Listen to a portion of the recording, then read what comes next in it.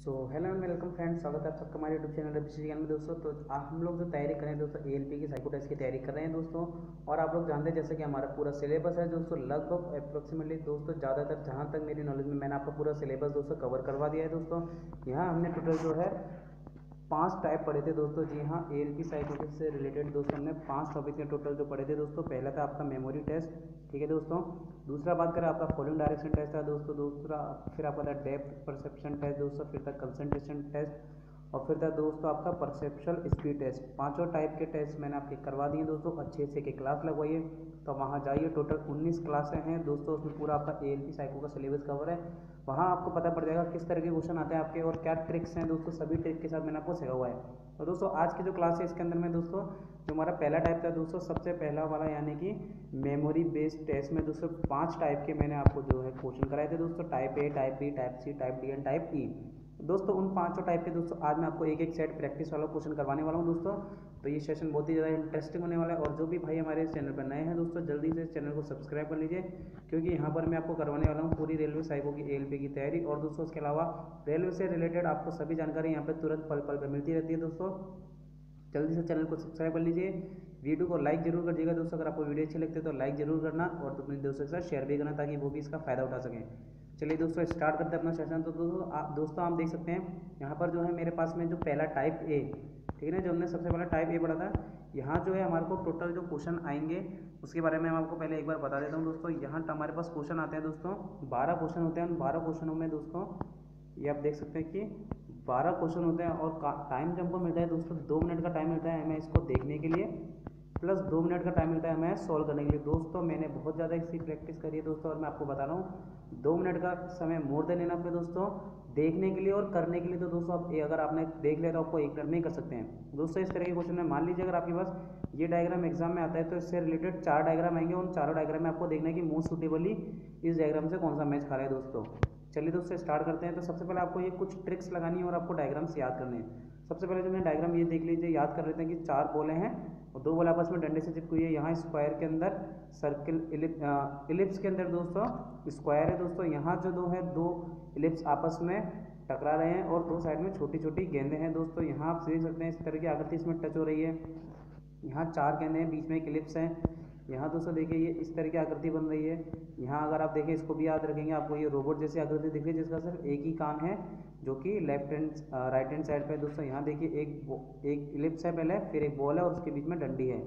यहाँ देखिए एक सर्किल स्क्वायर में एक स्क्वायर है इसमें छोटा सा सर्किल है। यहाँ एक रेक्टेंगल है, खड़ा हुआ, उसके बाद एक इलिप्स है और एक डंडी है।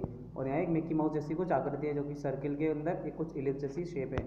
चलिए दोस्तों, ये आप सबको याद हो जाएगा और आप चाहें तो इसका एक स्नैपशॉट ले सकते हैं। चलिए आई होप आपने इसका स्नैपशॉट ले लिया और जल्दी से हम इसको जो है सॉल्व कर लेते हैं। ये देखिए दोस्तों, यहाँ जो है आपके सामने कुछ इस तरह से क्वेश्चन आने वाला है। अब आपको एक एक करके इसको सॉल्व करना है, ठीक है? तो सबसे पहले देखिए, अगर आप पहले वाला शेप देखें तो पहले वाले का आंसर क्या होगा? आपको जल्दी से पहले वाले का आंसर मुझे बताना है कि पहले वाले में जो आंसर दे रखे जितने भी, उसमें से मोस्ट सुटेबल इसका आंसर कौन सा होगा? तो दोस्तों, अगर आप देखें, पहले वाले में जो है मैच कर रहे हैं, चलिए आप बताइए और उसके बाद मैं आपको आंसर बताऊँगा इसका। जैसा कि आप देख सकते हैं, यहाँ पे जो दोस्तों सी आंसर इसका मोस्ट सुटेबली मैच हो रहा है दोस्तों। बात करते हैं नेक्स्ट डायग्राम की तो देखिए दोस्तों, ये वाला तो बिल्कुल लाइन नहीं थी, इधर लाइन नहीं थी। ये इसके बिल्कुल अंदर नहीं था दोस्तों, ये इससे टकरा रहा था तो दोस्तों हमारा सेकंड वाले का जो आंसर हो जाएगा सी थर्ड वाले का देखिए दोस्तों, आप देखते ही आंसर दे सकते हैं कि ये वाला और ये वाला तो आपका आंसर होगा ही नहीं। अब हम बसते हैं ए और डी वाला जो आंसर है, उसमें से कौन सा सही होगा? तो दोस्तों, अगर आप ए वाला देखें तो इसमें पाँच सर्किल हैं, जबकि हमारे पास चार थे तो हमारा जो आंसर हो जाएगा ए वाला हो जाएगा। फिर फोर्थ वाले की अगर हम बात करते हैं, फोर्थ वाले का आंसर दोस्तों देखिए, ये इस तरह का भी नहीं था, इस तरह का भी नहीं था, इस तरह का भी नहीं था, सीधे हमारे डी वाला आंसर है, इसका सही हो जाता है। नेक्स्ट अगला हम बात करते हैं जो हमारे फिफ्थ नंबर का है दोस्तों, इसका आंसर आप देखेंगे, यहाँ जो हमारे दो डंडियाँ तो बिल्कुल भी नहीं थी खड़े में, ठीक है? नेक्स्ट बात कर रहे हैं, कुछ टिल्ट थी जो कि यहाँ पर नहीं है। अब बी और सी में जो आप कंफ्यूज हो सकते हो। तो दोस्तों, हमारी जो बॉल थी ना, छोटी नहीं थी दोस्तों, मोटी थी। आपको जब बॉल जब भी देखिए, आप अगर कुछ डॉट या धब्बे जैसा आता है तो वो मोटा या पतला है, वो आपको गौर से देखना है दोस्तों, क्योंकि डायग्राम में यही आता है कि धब्बा मोटा है या पतला है। यही चीज़ आपसे पूछी जाएगी। चलिए दोस्तों, यहाँ जो देखेंगे कि आप कौन सा वाला जो देखते कि हमारा सिक्स नंबर का क्वेश्चन है, उसमें कौन सा सही है दोस्तों? ए अगर आप देखेंगे, बिल्कुल हमारा गलत है दोस्तों, छोटी गेंद नहीं थी बी वाला गलत है सी वाला सही है दोस्तों डी वाला भी हमारा गलत है, यानी कि सी सही आंसर है। क्वेश्चन नंबर एट्थ की अगर हम सेवन्थ की अगर हम बात करते हैं दोस्तों सेवन में देखेंगे तो दोस्तों आपका ए सही आंसर है। एट्थ में अगर आप देखेंगे तो दोस्तों जो आपका आंसर है, एक कान वाला जो कि राइट हैंड साइड पे था तो ये गलत ये गलत और आपका सी आंसर बिल्कुल सही हो जाएगा। तो एट्थ वाले का आंसर हो जाएगा आपका सी। इसी तरह से अगर आप नाइन्थ वाले का आंसर देखेंगे दोस्तों, नाइन्थ वाले का में देखिए, इस साइड में नीचे तो था नहीं, ठीक है? ये दो तो थे ही नहीं। एक था मगर इतना छोटा भी नहीं था दोस्तों, थोड़ा मोटा था, इसलिए आपका आंसर हो जाएगा बी, ना कि आपका आंसर होगा डी, ठीक है? टेंथ क्वेश्चन की अगर हम बात करें दोस्तों तो हमारा सी ऑप्शन बिल्कुल सही आंसर है दोस्तों, जो सर्किल है दोस्तों, ना डबल था ना एक के अंदर एक था ना मिला हुआ था। नेक्स्ट हम बात करते हैं इलेवन नंबर की बात करते हैं। आपका आंसर हो जाएगा बी दोस्तों, और यहीं ट्वेल्थ का आंसर बात करें तो आपका आंसर हो जाएगा डी क्योंकि सर्किल के अंदर एक ही डंडी थी, दो डंडियाँ नहीं थी। तो देखिए दोस्तों, कितना आसान जो है हमने प्रैक्टिस की थी इसकी। आप जितना हो सके प्रैक्टिस कीजिए दोस्तों। आप चाहें तो इसका एक बार स्नैपशॉट ले सकते हैं अच्छे से, और घर पर बैठ के प्रैक्टिस कर सकते हैं। चलिए दोस्तों नेक्स्ट जो हम लोग बात करते हैं, हमारे जो अगला टाइप आता है दोस्तों। ये जो है दोस्तों हमारा टाइप बी है, ठीक है दोस्तों?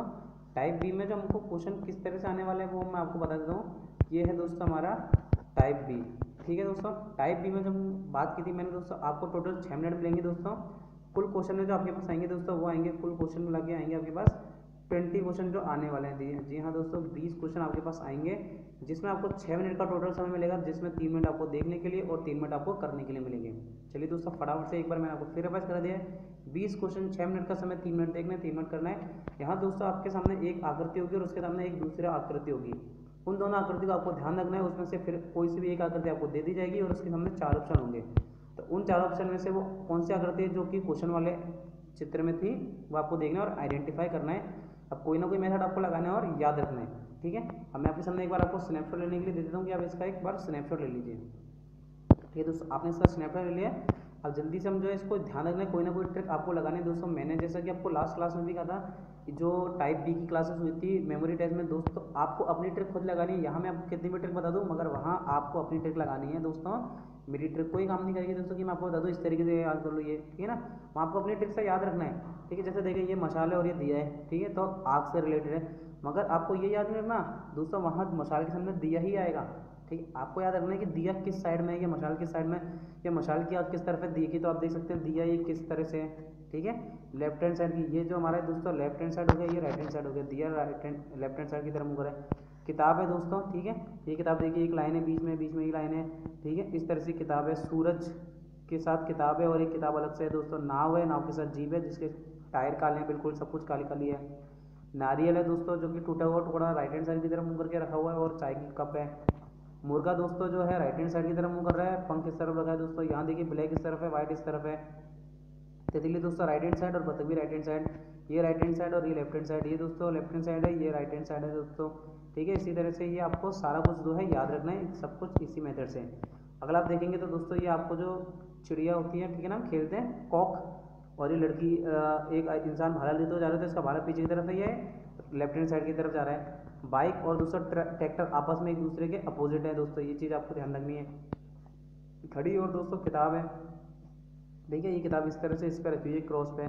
फ़ैन है फ़ैन का वायर इस तरफ़ निकला हुआ है फ़ैन के बीच में एक डोट है और टेलीफोन इस तरफ़ रखा हुआ है। और देखेंगे, जहाज़ दोस्तों किस तरफ़ जा रहा है? राइट हैंड साइड की तरफ़, दोनों जहाज़ राइट हैंड साइड की तरफ़ जा रहे हैं। ये ग्लोब है, बीच में दो लाइन है। इस तरह से एक लाइन है, ये आपको ध्यान रखना है। झंडा दोस्तों, दोनों एक दूसरे की तरफ़ मुँह करके खड़े हुए हैं। ठीक है? कार सामने, एक सामने आ रही है और एक यहाँ जा रही है। ये चीज़ आपको, इस तरह से चीज़ें दोस्तों आपको ध्यान रखनी है। चलिए आप फटाफट से हम इसका आंसर करते हैं। कोशिश करते हैं कि इसके आंसर क्या हो सकते हैं।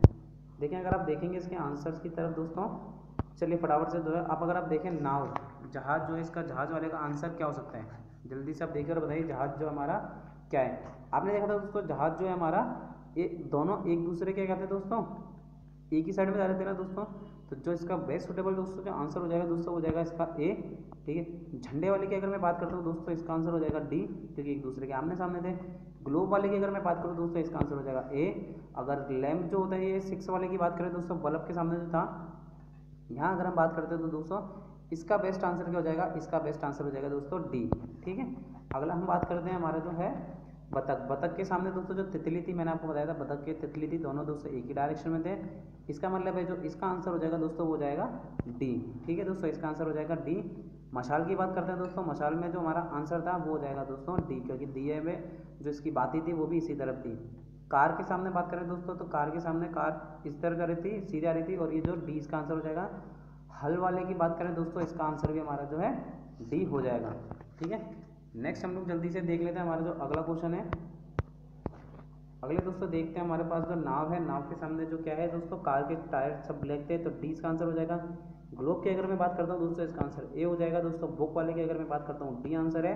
टेलीफोन वाले की बात करता हूँ तो दोस्तों, इसका जो फ़ैन वाले का आंसर है, इसका हो जाएगा डी क्योंकि डी और ए सेम है, मगर डी में दोस्तों नीचे देखा आप एक बटन था और यहाँ पे बटन नहीं है। तो इसका आंसर हो जाएगा डी नेक्स्ट हम लोग बात करते हैं दोस्तों, अगले जो क्वेश्चन है बुक वाले के साथ की बात करते हैं दोस्तों इसका आंसर हो जाएगा ये। चिड़िया वाले की बात करें दोस्तों, दोनों एक दूसरे के अपोजिट मुँह करके खड़े हुई थी दोस्तों तो इसका आंसर हो जाएगा डी नारियल के साथ की बात करें, एक ही कप बिल्कुल साबुत है तो दोस्तों इसका आंसर हो जाएगा ये। और सी में बात करें तो लॉयन लॉयन किस तरह मुँह करके खड़ा होता, इस तरह मुँह करके खड़ा हुआ था चलिए, अगला जल्दी से देख लेते हैं हमारा।